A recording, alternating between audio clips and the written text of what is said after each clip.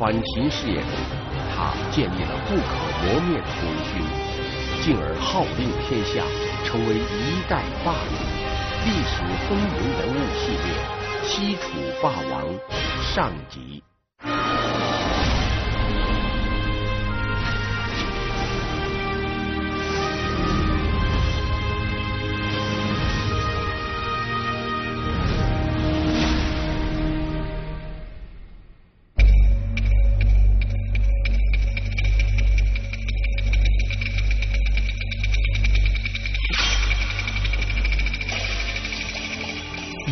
九三年的《霸王别姬》无疑是上个世纪最优秀的中国电影之一。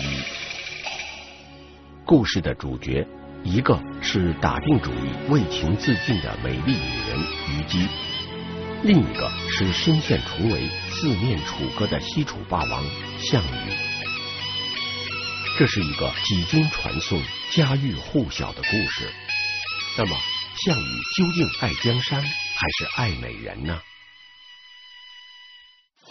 小卓，今日鸿门盛宴，愿无此剑，以助雅项庄舞剑，意在沛公。项羽在两千年前的鸿门宴上，优柔寡断的放走了对手，永远留下了一个令兵家不解之谜。刘邦，你果然是识时务者。哈哈哈哈哈！二零一二年，王的盛宴再次深入揭秘历史典故，从历史变成传说，再从传说演绎成戏剧，最后进入电影。坑秦军，逐鲁生，几度屠城。项羽虽留下了暴虐的恶名。却在二十七岁就成为分封天下的西楚霸王。巨鹿之战，破釜沉舟。项羽的胆识与谋略，前无古人，后无来者。他打了一辈子的胜仗，却因为唯一的一次败仗而命丧黄泉。他虽然失去了天下，却成为千古传颂的盖世英雄。在成王败寇的定见俗规中，为什么项羽是个例外？西楚霸王究竟是怎样的人？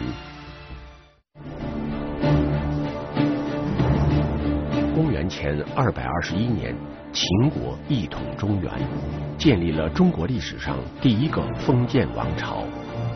三十九岁的嬴政成为君临天下的始皇帝。当秦始皇游会稽山时，项梁带了项羽去看热闹。项羽脱口而出：“彼可取而代之也。”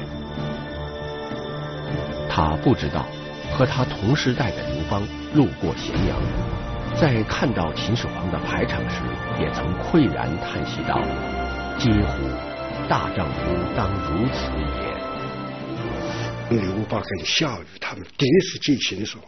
但不同的啊，这个一种言语表达呢，可以看出两个不同的气度、不同的性格、不同的追求。刘邦对帝王权势的一种沿线渴望的一种心态，项羽对帝王权威的一种蔑视，也流露了他啊对秦国充满了骨髓家恨的啊一种这个情绪。酷使民力的秦帝国很快从全盛走向危机四伏的衰亡。公元前二百零九年，也就是秦始皇东巡途中死去的一年后，楚国移民陈胜和吴广在大泽乡揭竿起事，公然抗秦。随后，各地百姓纷纷杀掉当地执政官，自立诸侯王。楚、赵。魏、齐等被灭亡的国家相继复国。在叛乱四起的风潮中，项梁、项羽叔侄俩在吴中，也就是今天的苏州起兵造反，而亲手杀掉当地执政官殷通的正是项羽。这一年，他只有二十四岁。秦帝国迅速从辉煌的英雄时代滑向风雨飘摇的动荡深渊。陈胜吴广的部将周文率领起义军逼近了首都咸阳。慌乱之中，秦二世做出了他生平唯一正确的抉择，派遣少府章邯平叛。章邯军愈战愈勇，接连打败各地起义军。陈胜吴广被叛变的部下杀害，张楚政权转瞬间土崩瓦解。就在此时，从楚地偏僻的东南会稽郡方向，一支精锐的楚军正渡过长江，沿东海郡北上，迎击所向披靡的秦军。这支反秦部队就是项梁、项羽带领的八千江东子弟。打败以后，你想楚军还有什么人？就是说，楚军主力部队魏国也消灭了，陈胜、吴广都消灭了，最后只剩下北部就剩赵国。在章邯的统一部署下，秦军主力悉数北渡黄河，猛攻赵国，首战便大破赵国和齐国联军，攻陷了赵国的旧都邯郸城。赵王率领残存的赵军退守巨鹿，向各国紧急求援。一时间，巨鹿成为世人瞩目的焦点，也即将成为上演历史精彩篇章的大舞台。这是中国北方一个普普通通的小县城。公元前二百零七年十二月，围绕着巨鹿这座不大的城池，金戈铁马，狼烟飞扬，几十万人的生命即将纠结在一起，捉对厮杀，并最终分出胜负。尽管项羽并没有任何胜算。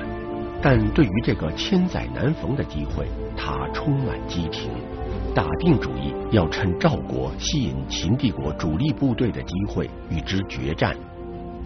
他知道这是一场旷世豪赌，而赌注就是自己和手下七万楚军的性命。当项羽所率大军到达黄河岸边时，已是冬季，河水东流。寒气逼人，项羽极其仔细地查看并研究分析了战场态势。面对三十万之众的强大秦军，项羽明白，必须集中力量攻击其中的一支，才有获胜的希望。那么，到底应该先打哪支呢？呃，我们。呃，搞军事学术的人呢，有一句常用的话，叫做“外行谈战略，内行谈补给”。其实，呃，无论是在古代战争中，还是在现代战争中，后勤保障都是不可须臾离开的一个重要因素。秦军的粮草从帝国最大的粮食储备基地敖仓顺黄河而下，在经由甬道。送抵巨鹿，这漫长的补给线正是秦军最关键也最薄弱的环节。项羽敏锐地洞察到了这个关键，立即派遣英布和蒲将军率两万精兵渡过漳水，袭扰秦军运粮的甬道。轻骑突击的楚军，让守卫漫长甬道的章邯军疲于招架。项羽随即率领大部队渡过漳水，展开全面进攻。这个时候形势就发生变化，秦军粮道一断以后，就发生一个反包围。切断以后，结果是王立军就孤立了，他军队的主力部队集中猛猛攻王立军，所以王立军抵不住。司马迁记录的很简单：一日九战，一日九战。司马迁用最简练的语言描述了战斗的激烈残酷。公元前二百零七年冬天，巨鹿战场上烟尘漫漫，人喊马嘶，杀声震天。这是一场决定性的胜利。近百年来，六国军队面对秦军的虎狼之师，从没有取得过如此伟大的胜利。自此，秦帝国的精锐之士再无战胜反叛的能力，而项羽也确立了自己军事家的显赫地位。短短十五年，泱泱大秦毁于一旦，秦朝大厦倒塌之快，尽管有各种深层的原因，但给予大秦最沉重一击的，无疑是项羽的天才之作——巨鹿之战。年仅二十七岁的项羽，率领各路反秦联军，沿着黄河向西挺进。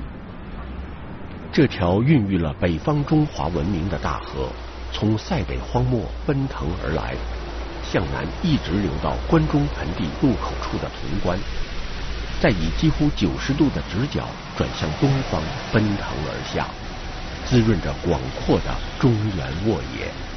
项羽逆流而上。秦帝国的心脏就在眼前。项羽率领战胜大秦帝国精锐之师的四十万大军，一路兴致冲冲来到函谷关前。但他没有料到的是，竟然有人捷足先登，阻止他进入关中。函谷关坐落于今天的河南省灵宝市北。自春秋战国以来，函谷关就一直是秦国扼守关中本土的咽喉要地、军事重镇。秦国曾经依据函谷关的天险，一举击败六国军队，使之伏尸百万、流血飘橹。公元前二百零六年的那个冬天，当雄心勃勃的项羽。率领四十万大军进抵函谷关前，准备进取关中时，却意外的被自己友军的部队阻挡在了关外。函谷关前，这支试图阻止项羽入关的友军，正是他的反秦战友刘邦的部队。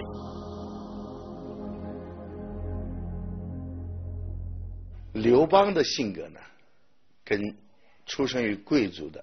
项羽不同，他出生于社会的下层，属于平民家庭，而且呢，长期混迹于市井，所以他社会经验、生活经验都非常丰富。当楚怀王指派刘邦攻打秦帝国的大本营关中时，刘邦自己也都没抱多大希望。凭当时的条件。派刘邦军队攻克关中，几乎是不可能完成的任务。只要能牵制住秦军的行动，也就足矣。所以，刘邦的部队始终在彭城附近进行一些小规模的战斗，败多胜少。直到北方传来巨鹿大捷的消息后，他才开始向西进军。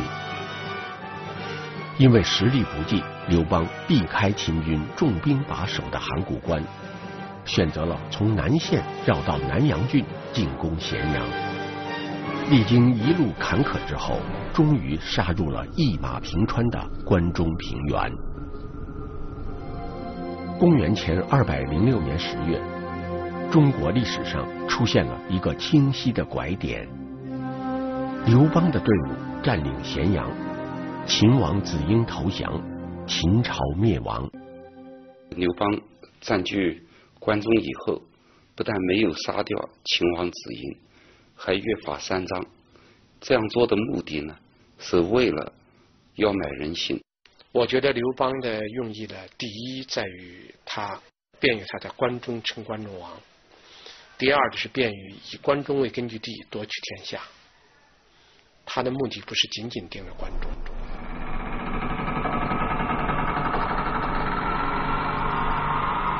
刘邦的阻挡让一心杀入咸阳复仇的项羽非常生气，他的大军迅速拿下函谷关，穿越关中平原，推进到细水河畔的鸿门高地。这里距刘邦驻军的坝上只有不到二十公里。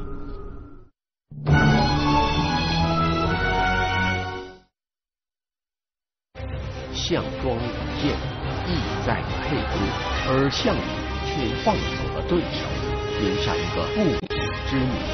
历史风云人物系列《西楚霸王》上集。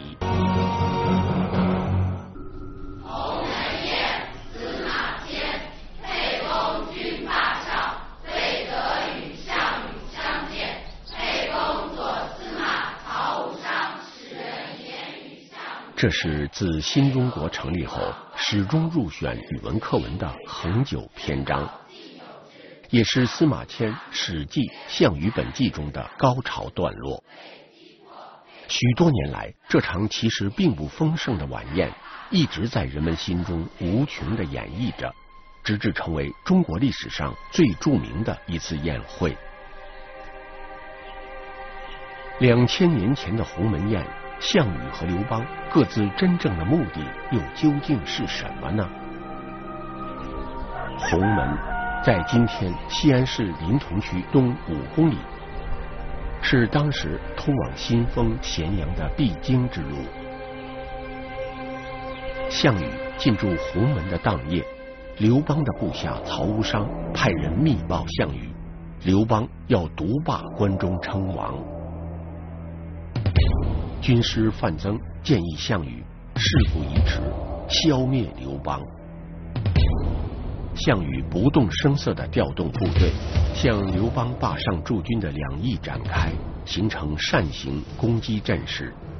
同时传令，明早让将士们饱餐一顿，全面进攻刘邦。当时项羽拥兵四十万，而刘邦只有十万人，力量对比一目了然。但是项羽没有想到，一个致命的漏洞在自己内部出现了。项羽的堂叔项伯为报答刘邦的军师张良救命之恩，连夜赶来通知张良赶快逃命。张良将这个情报立即告诉了刘邦，所以刘邦听到这个消息的第一个反应是大惊，第二个反应是为之奈何，就向张良讨教。张良才给他说了一句话：“请往魏项伯言沛公不敢背项王也。”就是这句话很重要。这句话，第一，你要抓住一个。关键人物项伯。第二，你要抓住一个核心问题，就是你一定要死死的咬着，说你不敢背叛项羽。这就是张良为刘邦策划的应对这个危机的一个主要的谋略。次日清晨，刘邦率百十个随从直奔鸿门而去。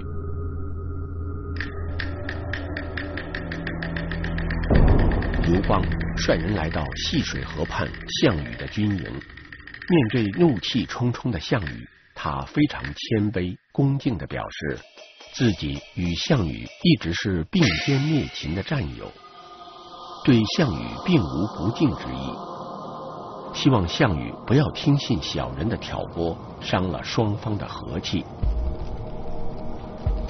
年长自己十三岁的刘邦。如此低声下气的赔罪，让年轻气盛的项羽很是受用。他轻率的相信了刘邦的诚意，甚至对自己昨天的怒气有了歉意，以致将曹无伤告密的事情也向刘邦和盘托出。鸿门宴说明了刘邦在政治上的高明，就这个人在政治上那是先知先觉，他已经意识到。两个人的关系，两个人本来是战友，随着秦子婴的投降，两个人已经从战友变成了敌我。谁能先意识到，谁叫先知先觉；意识的晚的叫后知后觉，就被动了。项羽是个后知后觉者，他意识不到。既然双方的关系已从敌对状态恢复成了战友，心怀歉意的项羽。自然要大度的设宴来款待上门赔罪的刘邦。就刘邦一生而言，这是第一次，也是最后一次。而看穿他表演的只有一个人，那就是范增。项羽没有把刘邦看得那么重，他是一个高傲自负、自视天下第一的，没有把你刘邦看作我的对手，不值得这样做。但是呢，范增不一样，范增他对人有他有预见，他觉得这个人非常危险，所以要出去。宴会之前，范增已经设计好了天罗地网，他再三叮嘱项羽要杀了刘邦。此时见项羽改变了态度，范增只好出门招呼项羽的侄子项庄到宴会上表演剑术。来寻机刺杀刘邦，这个策划后来几乎每一代中国人都知道了，并且成为一个使用频率极高的成语。项庄舞剑，意在沛公。范增没有料到，项庄舞剑，项伯也起身舞剑，不断用身体阻挡杀机四伏的剑锋。甚至在那一刻，项羽和身边的人一样，都不曾想到，这位自己看中的族长，在一夜之间已经结党，成了仇敌的亲家。危机时刻，张良离开宴会，找到对刘邦忠心耿耿的武将樊哙。樊哙不顾一切的闯入帐中，高腔大嗓的谴责项羽说。如果对忠臣良将还要报以诛杀之罪，那么天下人心还会归顺大王吗？这是鸿门宴上最紧张的时刻，一时间连空气似乎都凝固了。只要项羽动动指头，那么这场宴会瞬间就将变成鲜血淋漓的屠宰场。但在项羽看来，如此紧张沉闷的酒席宴上，突然冒出这么一个鲁莽角色，不顾死活的为主子打抱不平，这倒让他陡然兴奋起来。显然，性格爽快的项羽对这个勇敢直率的猛士颇为赏识，气氛一下子缓和了下来。樊哙戏剧性的横冲直撞，给刘邦。制造了绝好的机会，他趁机离席逃脱，跑回了自己的营地。而回去后的第一件事就是下令处死了曹无伤。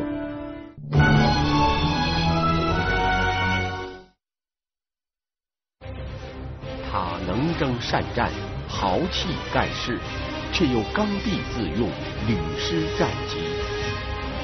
历史风云人物系列。西楚霸王下集。